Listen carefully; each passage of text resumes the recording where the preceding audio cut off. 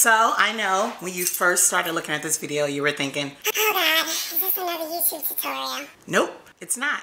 But what it is, it's my own new personal vlog and it's called Undeniably Nikki. And as you can guess, of course, people who don't know me, I'm Nikki. And I just want to start off by saying, welcome, welcome to my vlog. I finally did it. So I have been thinking about doing this for a long time. I've been thinking about doing a vlog. I've been thinking about doing a podcast. And basically, I just kept letting things get in my way and I didn't do what I was supposed to do. Um, procrastinating. I was doing a lot of procrastinating, which, by the way, do you know that procrastination can kill your dreams? Like, it can literally kill your dreams. So, anyway, I was trying to do this vlog or a podcast that um, I wanted to do, and I basically wanted it to call it Undeniably Nikki because I wanted to be literally just a podcast that is for me, um, about me, and just things that I love.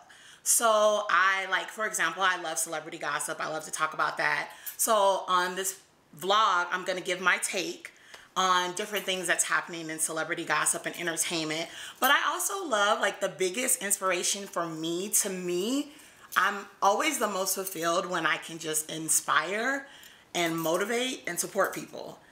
I know it sounds a little crazy or maybe even cliche, but it's the truth. I feel my best when I am literally just able to inspire with my words or with just my love or with um, supporting, just supporting people, supporting their dreams, trying to like basically troubleshoot things with them. Um, but with that said, I noticed that I was doing a lot of supporting of other people's dreams and doing a lot of, um, you know, cheerleading for a lot of people, but I wasn't doing that for myself. I had uh, numerous friends, numerous people telling me for the longest time that I should start a vlog. And I kept always having this excuse. I've always been like, oh, I'm too busy. I work so much, which you guys, I really do. I work a lot. I work like 10 to 12 hours a day. So it's kind of ridiculous. Um, but I had to actually have an aha moment. And I said to myself, I said, Nikki, like, what are you doing? Like, you feel your best when you can motivate and inspire people. So why don't you decide to, you know, do a vlog that's you, that's undeniably you. Do a podcast, that's you, that's undeniably you. And what's undeniably me is basically the things I talked about earlier, along with, you know, loving celebrity gossip and loving what's, talking about what's going on, what's happening in the world and things like that.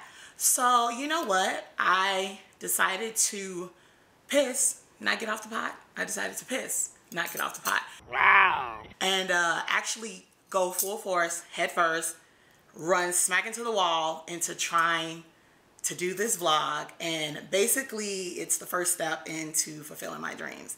Now, I had a couple of technical difficulties today. For example, I bought like a mic. I bought like all these fancy little gadgets and stuff. I didn't think it would take me a long time to put together, but it actually did. And I was actually kind of confused because I don't like reading directions. I like to just go in, put things together like a puzzle and just figure it out. So there's like a couple of things missing, like my mic is missing. So I'm hoping you guys can hear me, but I'm not like a quiet voice, so I'm pretty sure you can. Um, but that was another procrastination that tried to sneak up today and basically be like, no, no, no, don't do it today. Don't do it today. You can put it off. Do it on the day when you have more time. Don't do it right before work. Do it on the day when you have more time. But I was like, no, I'm not doing that. I am not doing that at all. What I am going to do is I'm going to go on here. I'm just going to do it. There is nothing you could do but to do it, and it is what it is. If it comes out great, awesome. If it doesn't, I'll learn for next time and I'll do better. So um, I just want to say thank you guys for going on this journey with me for my new vlog and podcast. It will be a podcast too, and it's called Undeniably Nikki. And it's just me being me and giving my take on things that are important to me or things that I'm interested in. You know, there's really no format right now. Some days you may come on here and it's literally all celebrity gossip, and there may be some days you come on here and it's literally a mush fest because I'm such a sentimental sap and I love to just like I don't know. I just love uplifting words and things like that. So who knows? I just I just know that I'm excited. I'm excited for this journey and I'm so excited that you guys are here with me. So, speaking of, let's talk a little celebrity gossip. We got to talk about DaBaby. That's right, the DaBaby, the rapper, the grown man whose name is the DaBaby, who tends to seem like he's acting like a bit of a baby every single time we hear about him in the news. Now, this one is a tough one for me, mainly because I like DaBaby. I like his songs. I love them. Like they just get you pumped. They're like they're like the songs that you like with your friends and you're like at a party or in the club and you just like, hey, hey, hey. No cap. Like I love it. But what I don't love, and I'm gonna speak on it, this man has a problem with putting his hands on people. Like, this has been going on, I feel like, since the summer. We've been hearing about DaBaby putting his hands on people, summer 2019. We're now in January 2020. And the latest incident, he's had, let me talk about some of the incidents he's had. He's had incidents where he goes into a crowd in the club or a concert where he's performing and someone touches him and he decides to throw hands. Like, you're in a crowd. Like, what do you expect? Someone's gonna accidentally touch you, or if not accidentally touch you, someone's gonna feel that they have the authority to touch you.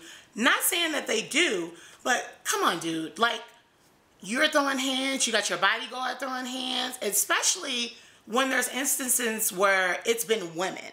Like, I don't even understand that. So let's talk about the latest instance. Um, he basically just got in trouble putting his hands on a hotel employee. Now, this was in LA, and you see on the surveillance video, like they're walking into the hotel, and then the employee, like DaBaby, literally like shoves this guy up against a wall, and he's like hemming him up. Now, I don't know what happened. I can't see. I mean, I can see everything, but I can't hear. So I don't know what led up to it. So I'm gonna, I'm trying to give him the benefit of the doubt that you know maybe something was said.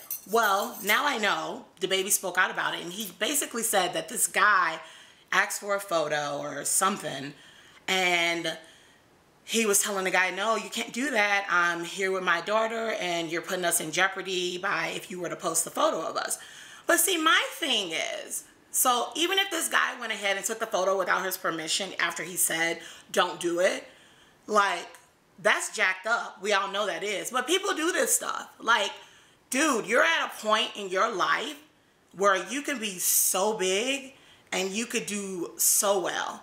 Like I know you have a good heart too, because you show you've shown you have a good heart. You know, there's been cameras catching you do like really nice things, like buying this woman who came up to you, you know, telling her telling you her issues, and you like buying her and her son some clothes and stuff. But I just feel like there comes a point where DaBaby needs to go to the anger management. Like, I need to figure out, you need to go and you need to figure out what your triggers are and you need to figure out how you can deal with it because the fact that any little instance gets you to this point where you literally are popping off and you're putting your hands on people is crazy to me. Like you are in such a good position. You are literally living your dreams and doing things that people wish they can do. And I don't want to see you mess it up over something so silly. It's so silly. You know what I'm saying? And you know, you have security. So I'm pretty sure if people would have came down to the hotel, like you and your daughter could have been okay. Um, but you know, I understand that's a real fear for a parent. That's a real fear. There's a real, you know, you just want to make sure your daughter's safe. But yo, dude, like you need to get it together because honestly, your actions are starting to me affect me and me wanting to listen to your music because it's just been too many instances where you put your hands on people and women, like women. Um, and I just got a huge problem with that. But like I said, like I like your music. I have nothing against you, but I just feel like we all need to have an honest conversation because I'm reading, like, looking at the blogs and stuff, like Shade Room, and looking at the comments, and people are literally like, oh, they're always messing with him. Oh, when they're gonna leave him alone? Oh, they're always getting him in trouble. And I'm like, he gets himself in trouble. Like, let's let's be real. he gets himself in trouble. You can't control what people do. The only thing you can control is how you respond. So, DaBaby, like, seriously, I wish you nothing but the great success that you deserve because you're very talented. Okay, you guys, I have no clue where I left off because we had a little technical difficulty that happened with the camera. So basically, I think I was just saying like with the, DaBaby, I just honestly like just needs him to, I, I need him to just realize that like don't sweat the small stuff. It's really not that deep. It's not that serious, especially to be like ruining your career. Oh, and I put my glasses on now. Um, especially to be ruining your career. It's just not even worth it. So I really hope you like literally go get some counseling, go to anger management, whatever, to just figure out like what it is that's triggering you and why it keeps triggering you because this is crazy. It's not worth it. Like you have so much going for yourself. So like stop letting these people get on your nerves. Speaking of getting on your nerves, um, the person that's getting on my nerve is Meghan Markle's father. Like, dude, like, shut up. like, this guy has literally been talking since they got married.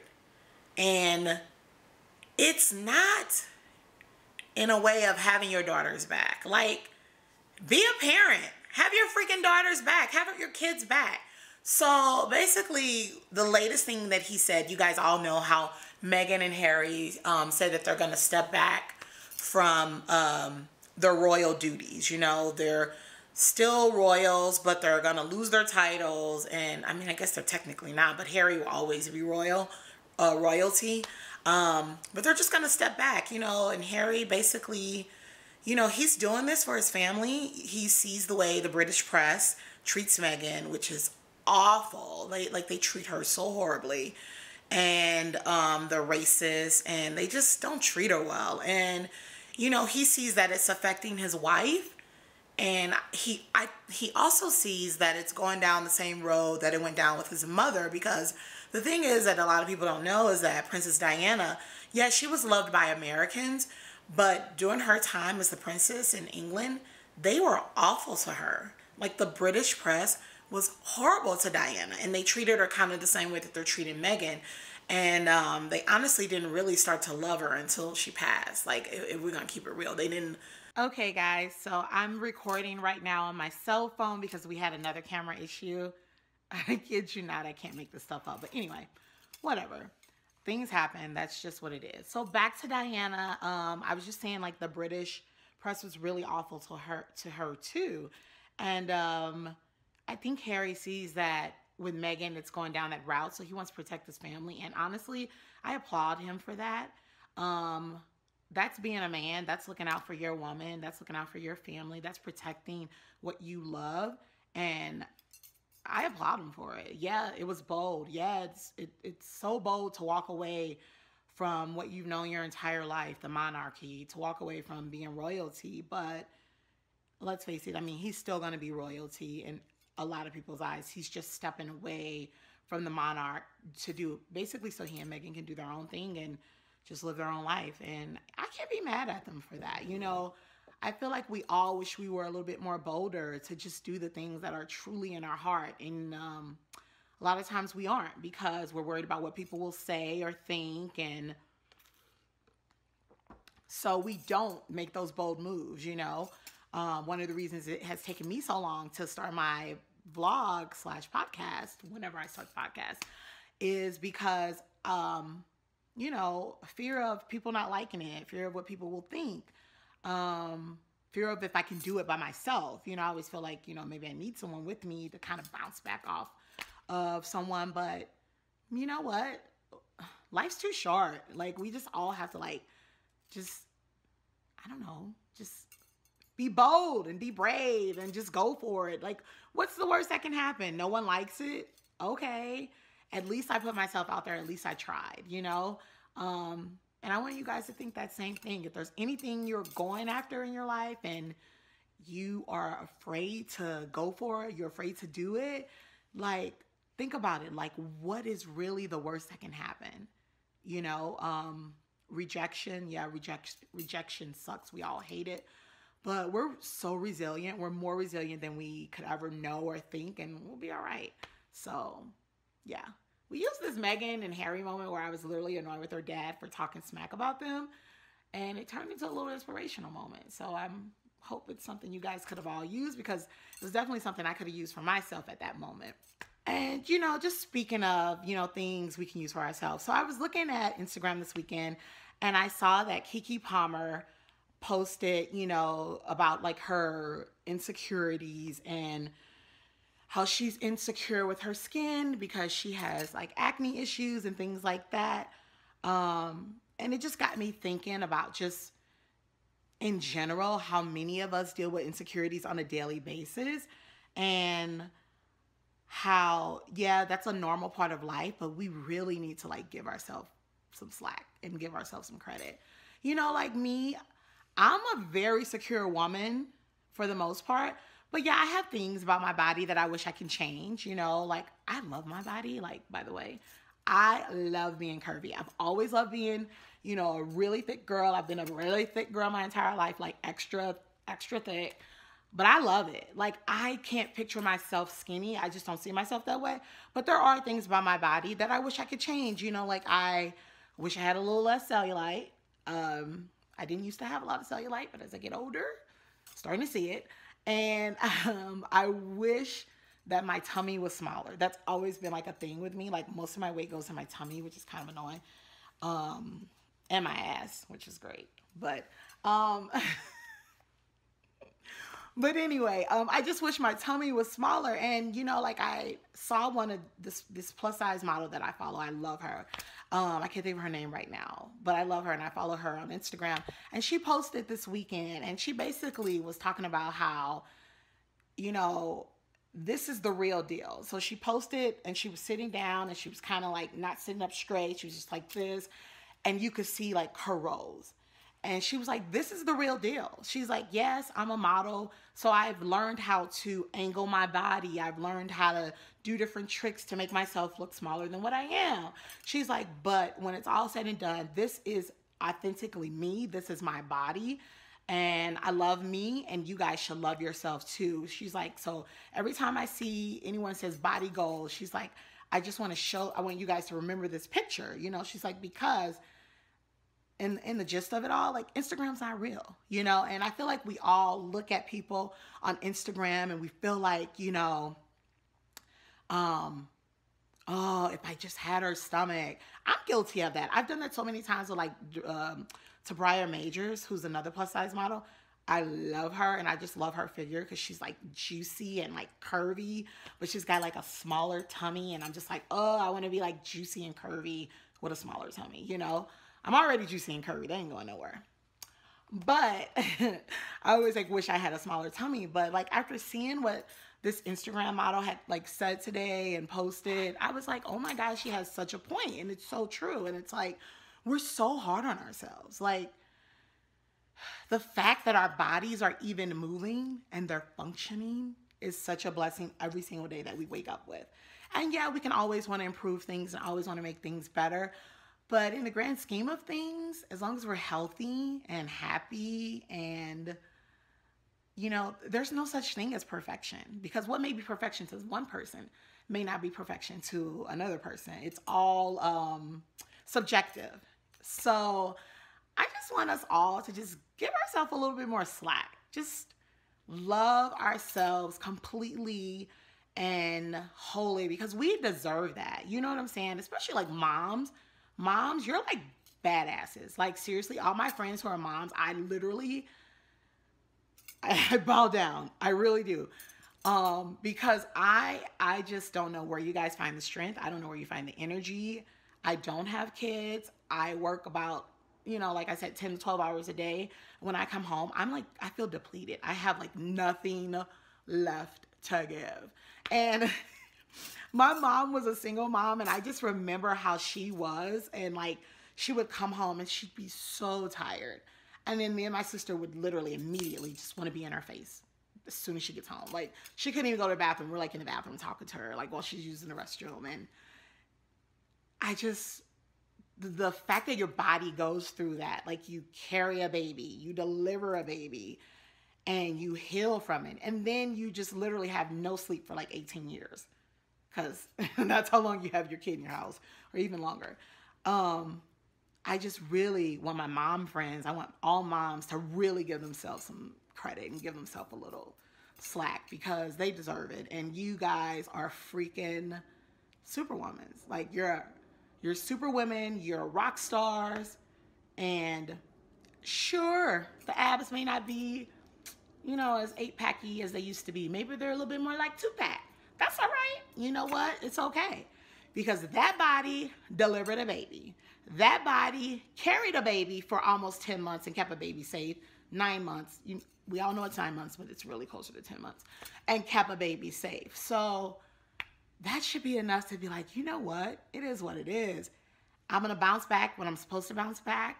And for now, I'm just going to enjoy life and be me and eat the damn cheesecake. You guys, you want a piece of cheesecake? Just eat the cheesecake. Like, life is too short to be depriving ourselves. Like, seriously, I can't. Um, but I digress. So I just want to say, like, love yourselves, love each other, love humanity, and uh, just give yourself some slack because you deserve it. We all deserve it. There's no such thing as a perfect body. Um, there's no such thing as anything being perfect. And you are perfect and uniquely yourselves. Like our flaws are part of us. And because they're part of us, they're beautiful and they make us, they add to us. So just embrace it a little bit more, you know? Like I said, I've always wanted a smaller tummy, but I embrace this tummy because it's a functioning, working tummy. Um, and I could be sick and I'm not. I'm healthy. I'm strong. You know what? That's it. I'm not going to keep going on this tangent because I could just keep getting going and going and being mushy. And uh, I don't want to do that. It's only the first episode. I don't want to keep you guys too long. But I promise once we do more of the vlog, once I do more episodes, it'll definitely be put together better where you won't have the camera issues, we won't have the technical difficulties. Things will be a whole lot better. Uh, but for now, I hope you have liked the first episode of Undeniably Nikki. I know I kind of just wrapped suddenly after the Mush Fest, and it's kind of weird. But honestly, I literally have to leave the house because I got to go to work. Um, so I just want to say um, I'm excited about this journey. I'm excited for everyone who's going to be on it with me. This is only the first episode. I Had a couple of things go wrong, but it is what it is. Like in the grand scheme of things, it's still a su success and things came out great. I got my points crossed. I got some things out. Yeah, I really enjoyed this. Like, I don't know if you guys can tell, but I really don't even want to wrap it up. Like, but I really have to because it's literally 12:30, so I literally have to get out the house now so I can get to work on time. But I've enjoyed this time with you guys, and uh, yeah, friends of mine, text me and let me know topics you want to discuss, and maybe I can talk about it on the vlog. Thank you for your support, and thank you for watching me be undeniably Nikki.